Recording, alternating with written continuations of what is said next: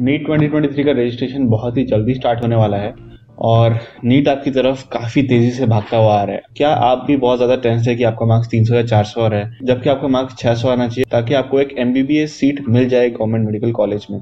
अगर आपको आपका मार्क्स 300 से बढ़ा के 600 तक लेके जाना है so this is the exact video that you are looking for hello everybody this is Tanvesh Khadanga the medical blogger final year MBBS student from PRM MCH Baripada Odisha and in this video I am going to give you a strategy on how to improve your marks from 400 to 600 in the last three months of your preparation देने कहते हुए चलिए इस video को शुरू करते हैं। तो जो लर्निंग है, वो दो टाइप का होता है। एक होता है एक्टिव लर्निंग और एक होता है पैसिव लर्निंग तो जब आप एक किताब को पढ़ते हो या आप एक लेक्चर अटेंड करते हो या आप कहीं से सुनते हो तो ये सब टाइप ऑफ़ लर्निंग होता है पैसिव लर्निंग मगर जब आप एक क्वेश्चन को अटेम्प्ट करते हो, वो गलत होने के बाद उसका करेक्ट करते हो एंड वहाँ से आप सीखते हो, उस चीज़ को बोलते हैं एक्टिव लर्निंग तो अभी आपको ये दोनों करना है आपके प्रिपरेशन में. आपको पैसिवली आपका बुक्स पढ़ना है, सारे सब्जेक्ट्स पढ़ने हैं जो जो आपने सिलेबस कवर नहीं किया है, वो सब कवर करना है.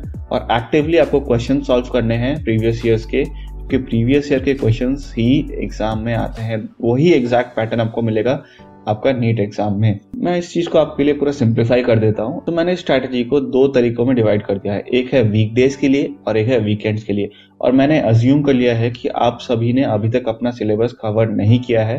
काफ़ी अमाउंट ऑफ़ सिलेबस आपका बाकी है। At least forty to fifty percent आपका सिलेबस बाकी है। और आपको उस चीज़ को भी कवर करना है और आपको अच्छा स्कोर भी लाना है और आप अभी काफ़ी घबराए हुए हैं।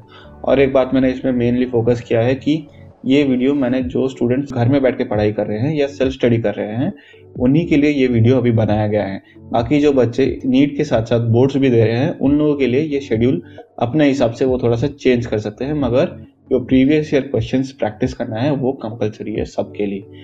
तो स्टार्ट करते हैं। ये जो वीक डेज़ में आपको ऑल्टरनेट डेज़ मतलब मंडे वेडनेसडे एंड फ्राइडे ये तीन दिन पे आपको प्रीवियस ईयर के क्वेश्चन सॉल्व करने हैं। तो मैं आपको पूरा डे का शेड्यूल बता देता हूँ।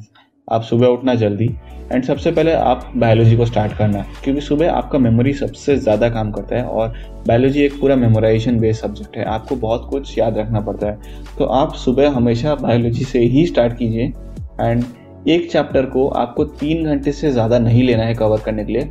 एन को पूरा लाइन बाय लाइन पढ़ना है आपको।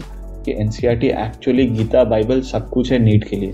आपको वो बुक पूरा पढ़ना है लाइन बाय लाइन और आप उसको मिस बिल्कुल नहीं कर सकते, क्योंकि एक बच्चा अगर चाहे तो वो एटलीस्ट 340 से लेकर 350 मार्क्स स्कोर कर सकता है, सिर्फ़ एन बायोलॉजी पढ़ के और उसके साथ साथ प्रीवियस ईयर क्वेश्चन सॉल्व करके। एन को आप जो छोटे चैप्टर्स है उसको जल्दी खत्म कर दीजिए, जो बड़े चैप्टर्स है अब उसमें थोड़ा टाइम ले सकते हैं, मगर एक दिन में एक चैप्टर खत्म होना चाहिए।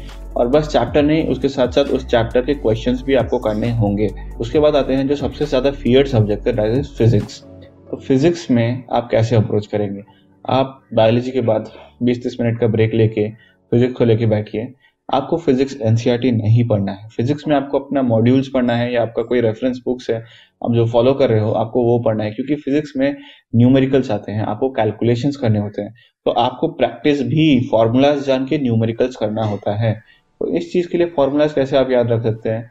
आप एक फॉर्मूला डायरी बना सकते हैं जो मैंने खुद बनाया था एंड वो अभी मेरे भाई बहन का भी काम आ रहा है।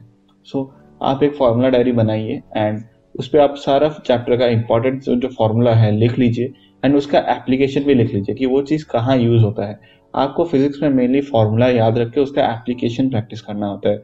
अगर आप उतना ठीक से कर पाए तो फिजिक्स में भी आप 120 से 130 मार्क्स आराम से ला सकते हैं। ये फॉर्मूला डायरी अगर आपने अभी तक बनाया नहीं है, बनाइए। जब फिजिक्स पढ़ेंगे, उसको लिखिए कंप्लीट कीजिए एंड वीकेंड्स में उसको एटलीस्ट 30 से 40 मिनट्स देखिए आप अपना फॉर्मूला रिवाइज कर लीजिएगा। और हाँ बाय द वे तमन्ना तो ये मेरी बहन है तमन्ना और तो चलिए इसे पूछते हैं कि मेरा स्ट्रैटेजी इसको काम आ रहा है कि नहीं आ रहा? है ये लोगों ने अभी एटलीस्ट सात या आठ दिन पहले से मेरा ये स्ट्रैटेजी फॉलो करना शुरू किया है और उन्होंने हर एग्ज़ाम में एटलीस्ट बीस मार्क्स बढ़ा दिए हैं। तो तमन्ना मैंने जो तुमको स्ट्रैटेजी दिया था क्या वो तुम्हारे काम आ रहा है? हाँ। तुमको लग रहा है कि वो चीज़ तुम्हारा मार्क्स बढ़ा रहा है? डेफिनेटली हर एग्ज़ाम्स में बीस बीस मार्क्स बढ़ रहे हैं। बढ़ रहे हैं। डेफिनेटली काम कर रहे हैं। डेफिनेटली वो काम कर रहा है। और तमन्ना तुझे क्या ये सब्जेक्ट वाइज क्वेश्चन है? उसका प्रैक्टिसिंग को थोड़ा और इंटरेस्टिंग बनाना है? हाँ डेफिनेटली तो अगर आप भी सब्जेक्ट वाइज क्वेश्चन प्रैक्टिस को इंटरेस्टिंग बनाना चाहते हैं एक बहुत ही अच्छा ऐप जो मैंने डिस्कवर किया जिसका नाम है मेमो नीट आप उस ऐप को यूज़ कर सकते हैं। चलिए मैं आपको कुछ एक डेमो दिखाता हूँ उसका कुछ क्वेश्चंस आपके स्क्रीन पे भी आएँगे। एंड वही क्वेश्चंस मैं तमन्ना से भी पूछता हूँ यहाँ पे। देखते हैं कि आप उसमें से कितना सही आंसर कर सकते हैं। एंड तमन्ना का प्रिपरेशन कैसा है? एंड वो कितना सही आंसर कर सकती है? तो तमन्ना स्टार्ट करें। हाँ। यहाँ पे हम अभी बायोलॉजी सेक्शन में क्वेश्चन सॉल्व करने वाले हैं। एंड बायोलॉजी में let's go with human physiology and human physiology में because you are doctors so let's ask human physiology and कौन सा चैप्टर प्रेफर करेगी? डाइजेशन एंड ऑब्जर्प्शन ठीक है। तो इसमें your first question is the process of conversion of complex food substances to simple absorbable forms is called respiration excretion digestion assimilation. Digestion. Digestion that's a simple question so ये आपका पूरा सही answer है and इसने यहाँ पे सही explanation दिया है। आप एक्सप्लेनेशन भी देख सकते हैं। And your next question is what are the components required as smaller quantities in the food?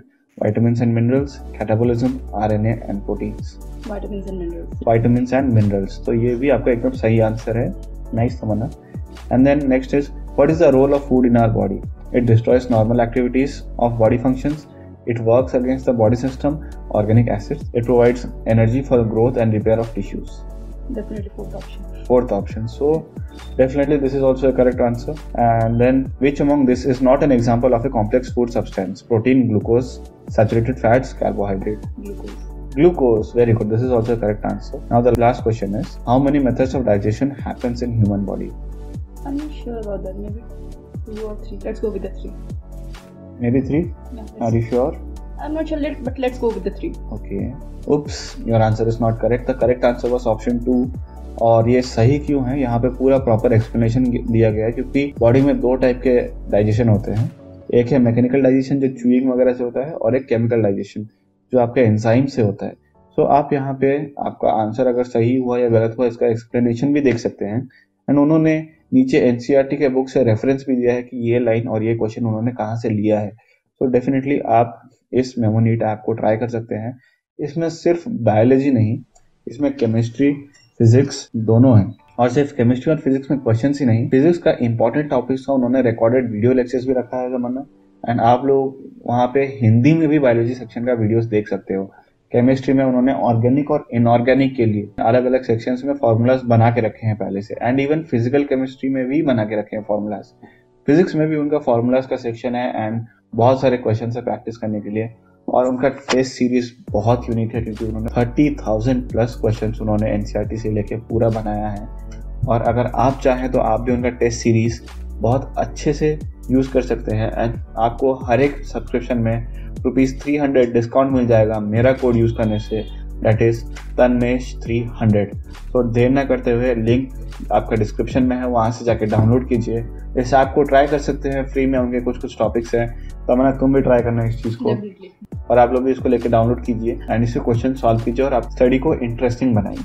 All the best for your preparation and आप सबको भी ऑल द बेस्ट तो जो सब्जेक्ट बच्चे सबसे ज़्यादा डरते हैं और वो सबसे ज़्यादा स्कोरिंग सब्जेक्ट है after biology that is chemistry chemistry actually बहुत ही वोलेटाइल सब्जेक्ट है एंड सारे के सारे बच्चे इवन मेरे भाई और बहन केमिस्ट्री से बहुत ज़्यादा डरते हैं।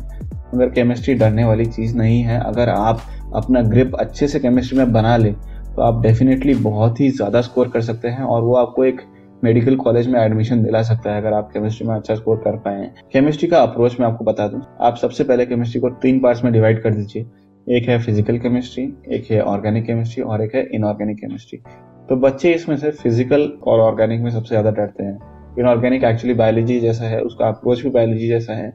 आपको एनसीआरटी पढ़ना है सफिशियंट है एनसीआर इनऑर्गेनिक के लिए। सो so, इनऑर्गेनिक को भी आप कैसे अप्रोच करो? लाइन बाय लाइन पढ़ो एनसीईआरटी उसका जो ट्रेंड्स है, आपका पीरियोडिक टेबल में या ग्रुप्स में एलिमेंट्स का जो ट्रेंड्स है, उसको याद रखना है एक्सेप्शंस याद रखना है और कुछ कुछ जो रिएक्शंस है एंड इंटरेक्शन है, उसका वो सब याद रखना है। तो मेनली इन सभी चीज़ों को आप अगर याद रखोगे तो आपका इनऑर्गेनिक बहुत ईजी हो जाएगा और उसको रिपीटेटिवली रिवाइज करने का ज़रूरत है। नेक्स्ट आता है फ़िज़िकल केमिस्ट्री फ़िज़िकल केमिस्ट्री बहुत ही ज़्यादा फिजिक्स लाइक अप्रोच आपको कंसेप्ट जानना है, उसका फॉर्मूलाज याद रखना है और उसको अप्लाई करके न्यूमेरिकल सॉल्व करना है। जितना न्यूमेरिकल सॉल्व करोगे, जितना टाइप का, उतना आपका एक्सपर्टीज बढ़ेगा और आप उसमें ज़्यादा परफेक्ट होगे। कैलकुलेशन में टाइम कम लगेगा। आप उसका भी एक फॉर्मूला डायरी बनाओ, उसको याद करो, उसको पढ़ो एंड उसका क्वेश्चन प्रैक्टिस करो बैठ के। तभी आपका फ़िज़िकल केमिस्ट्री अच्छा हो पाएगा। और उसके बाद आते हैं सबसे बड़ा वाला क्वेश्चन और सबसे ज़्यादा बल्क में जिसमें क्वेश्चन आता है, वह है ऑर्गेनिक केमिस्ट्री ऑर्गेनिक केमिस्ट्री से लोग इतना डरते हैं, वो क्यों डरते हैं मैं नहीं समझ पाता, क्योंकि वो सबसे इंटरेस्टिंग है। उसमें कुछ मेमोराइजेशन है, कुछ आपको समझना होता है और कुछ आपको प्रैक्टिस करना होता है। सो आप ऑर्गेनिक को एन e के हिसाब से ही अप्रोच कीजिए। सबसे पहले एन e का इलेवन का जो फ़र्स्ट चैप्टर है बेसिक्स वहाँ से स्टार्ट कीजिए। आप अपना मॉड्यूल पढ़ सकते हैं और आप अपना एन e भी पढ़ सकते हैं। आप ये दोनों चीज़ पढ़िए, उसके साथ साथ हर एक नेम रिएक्शन एन से याद रखिए और उसका क्वेश्चन प्रैक्टिस कीजिए। क्योंकि यहाँ पे आप सिर्फ़ पढ़ के जाके एग्ज़ाम्स नहीं दे सकते, आपको हर एक चीज़ का क्वेश्चन बार बार प्रैक्टिस करना होता है। सो so, आप इतना कीजिए केमिस्ट्री का तीनों चीज़ों को मिला के कीजिए।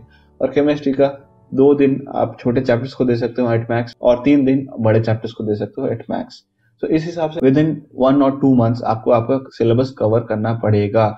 एंड देन वीकडेज पे फिर जो मेन चीज़ है दोपहर के दो से लेके शाम को छह बजे तक ये टाइमिंग या आप अपना टाइम वेरी कर सकते हैं। तीन से चार घंटे लेके आपको प्रीवियस ईयर क्वेश्चन पेपर एक सॉल्व करना है every alternate day Monday Wednesday and Friday तो ये क्वेश्चन आप ऑनेस्टली एक पेपर लीजिए बायोलॉजी सेक्शन से स्टार्ट कीजिए फ़र्स्ट बायोलॉजी अटेम्प्ट कीजिए, फिर केमिस्ट्री अटेम्प्ट कीजिए, फिर फिजिक्स अटेम्प्ट कीजिए एंड उसको आप पूरा अपने आप को ऑनेस्टली पूरा मार्किंग कीजिए, किसी से कुछ पूछिए मत, और एक पेपर आप जब दे देंगे, वो आपका जो स्कोर आएगा, वो आपका एक्चुअल प्रिपरेशन है। आप कितने अभी तक प्रिपेयर हो नीट के लिए, जितना भी मार्क्स आ रहा है।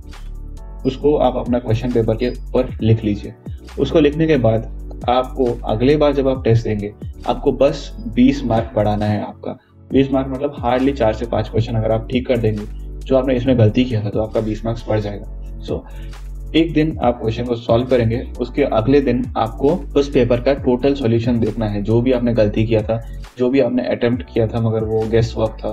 सो so, आपको वो सारा क्वेश्चन का आंसर देखना है एंड आप जब पेपर देंगे आप 200 में से 200 क्वेश्चन अटेम्प्ट कीजिए क्योंकि आप उससे आपका बहुत सारा आइडिया हो जाएगा और आप एक्टिवली बहुत कुछ सीख पाएँगे। क्योंकि लर्निंग सिर्फ़ बुक्स या क्लासेस में होती है एग्ज़ाम हॉल में भी आपकी लर्निंग हो जाती है सो so, आपको एक्टिवली इस चीज़ को अटेंड करना है। Self study is actually the key to crack M B B S और एनी अदर कॉम्पिटेटिव एग्ज़ाम्स अगर आप सेल्फ स्टडी ठीक से नहीं करते हैं तो आपको कभी भी सेटिस्फेक्शन नहीं मिलेगा और आपके मार्क्स अच्छे नहीं आएँगे। आप अपना वीकनेस को ढूंढिए, अपना स्ट्रेंथ्स को जानिए एंड उसके साथ साथ उसको आप और स्ट्रेंथन कीजिए अपना वीकनेसेस को, और आपका मार्क्स डेफिनेटली बढ़ेगा।